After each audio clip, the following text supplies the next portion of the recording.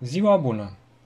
În Georgia, o țară ortodoxă încă din primele secole ale creștinismului, patriarhul Ilia botează în fiecare an mii de prunci pentru a încuraja familiile să aibă mai mulți copii. Părintele patriarh a promis că va participa și va binecuvânta personal familiile ce îl vor solicita.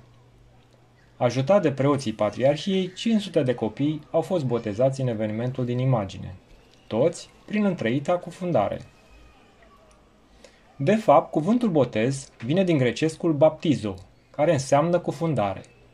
În toate bisericile ortodoxe, aceasta este practica oficială. Dar de ce botezăm totuși copiii? Conform învățăturii creștine, taina Sfântului Botez este dătătoare de viață spirituală. Botezul are o istorie de 2000 de ani, apostolii botezând pe cei ce își doreau să urmeze cuvintele lui Hristos și să intre în biserică, comunitatea ce renaște astfel din apă și din duh. În perioada întemeierii primelor comunități creștine au existat două practici, varianta botezului pruncilor sau a primirii botezului la maturitate. Pe măsură ce familiile de creștini se botezau, botezul era primit de toată casa lor. Apostolii și urmașii lor botezau familii întregi, cu tot cu copii, iar aceste evenimente le întâlnim menționate și în Sfânta Scriptură. Botezul temnicerului din Filipii, care auzind cuvântul lui Dumnezeu din gura apostolului Pavel, s-a botezat el și toți ai lui, menționat în Faptele Apostolilor capitolul 16, sau Lidia care devine creștină primind botezul împreună cu casa ei. În primele secole, mulți deveneau creștini la maturitate și se botezau în baptisteriu. Baptisteriul făcea posibilă cufundarea integrală a celui botezat și era construit într-o cameră a bisericii. Acesta trebuia să fie suficient de mare pentru a permite botezul catehumenilor și exista obiceiul botezurilor colective la mari praznice, de Paști și Bobotează.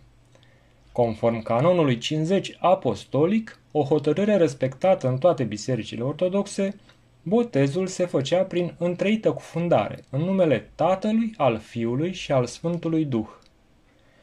Mai târziu, sinodul din Cartagina a stabilit în anul 419 clar faptul că botezul copiilor este un lucru bun, iar cei ce susțin contrariul se situează în afara învățăturii bisericii. Deja din secolul 5-6 botezul pruncilor se generalizează, iar baptisteriul a fost înlocuit de cristelniță, adusă în biserică când avea loc un botez. Părinții spun că botezul celor mici este ca o comoară în mâinile copilului. Când copilul crește, depinde de el dacă folosește această comoară sau dacă o aruncă. De aceea, noi părinții creștini nu îl ținem departe de acest dar – dar este oare botezul o primejdie pentru nou născut?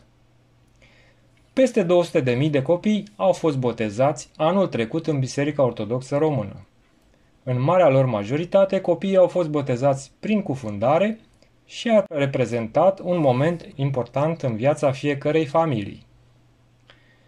Din păcate, există și derapaje, cum a fost cazul copilului prematur de la Suceava. În spitale sunt multe operații care ne vindecă de suferințe și boli. Inevitabil și de nedorit apar și conjuncturi nefavorabile uneori sau malpraxisul. O eroare însă nu a desfințat niciodată validitatea operației în sine. Este trist că spiritul modern al jurnalismului nu poate recunoaște o practică a bisericii verificată de mii de ani și ar dori o acordată neapărat la modernism. Și aceasta este tot o formă de prozelitism agresiv când chipul libertății celuilalt dispare. Credem că părinții și nașii decid când fac botezul în funcție de starea copilului. În vremuri de prigoană, în situații de urgență, botezul a fost făcut și cu puțină apă, săvârșit de preot sau chiar de părinți, în numele Sfintei Trăimi, prin stropire sau turnare. Dar aceasta este o procedură de urgență când există motive întemeiate, pericol de moarte sau pur și simplu insuficientă apă. În mod normal, taina botezului se face prin cufundare, aceasta este rânduiala bisericii ortodoxe. Cel ce se botează renaște din apă și din duh și devine membru al bisericii. Un copil care este botezat este împărtășit și participă împreună cu familia la Sfânta Liturghie, primind împărtășirea cu Hristos. De aceea, ne botezăm copiii de mici pentru a nu îi lipsi de lucrarea lui Dumnezeu în biserică. Încheiem aici prezentarea noastră. Dacă o considerați utilă, vă rugăm să ne ajutați în distribuirea ei. De asemenea, puteți să ne ajutați abonându-vă la canalul nostru video sau apreciind materialele noastre pentru a ne situa mai bine în algoritmul Google de căutare. Numai bine vă doresc!